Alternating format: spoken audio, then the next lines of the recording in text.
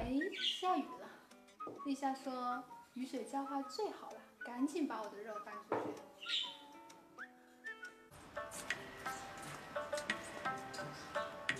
你在干啥呢？给肉肉淋雨啊！啊？但是我也说过，肉肉在夏天不能淋雨啊，为什么？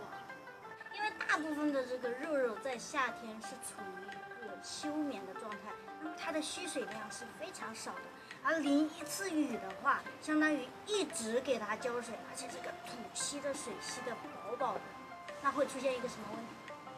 会出什么问题？你不知道吗？这个多肉植物它和其他植物是不同的，它的叶片上面是没有气孔的。那如果土壤长期是湿的，那么土里面就会缺氧，它就会化水一部分这个叶片来制造氧气。这个化水不一定会致命，但是在夏天化水，它就会产生一个伤口，就容易让这些病菌侵入，那么就容易引起它黑腐，黑腐就是致命的。我还是不太明白。听不明白不要紧，看，这就是多肉夏天淋雨的下场。